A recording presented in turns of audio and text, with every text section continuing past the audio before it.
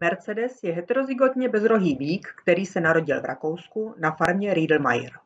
Jeho matkou je Pigas, homozygotně bezrohá dcera Folgase, která na první laktaci nadojila 8852 kg mléka s 4,03% tuku a 3,36% bílkovin.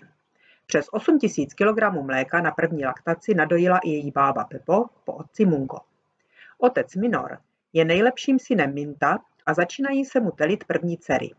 V inseminaci má čtyři syny s velice vyrovnanými plemenými hodnotami, Mercedes je jediný bezrohý.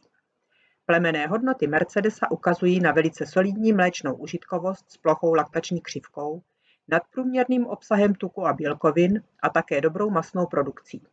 Předností jsou výborné hodnoty fitness znaků, hlavně dlouhověkosti, zdravý vemen a nízkého obsahu somatických buněk. Snadné porody, vitální telata a dobrá plodnost potomstva jsou další přednosti doplňující jeho vysokou efektivitu. Potomstvo by mělo mít optimální tělesný rámec s průměrným osvalením. Výborné hodnoty ukazují znaky utváření končetin a vemen. Ta by měla být dlouhá, dobře upnutá, s mírně slabšími struky, rozmístěnými blíže k sobě.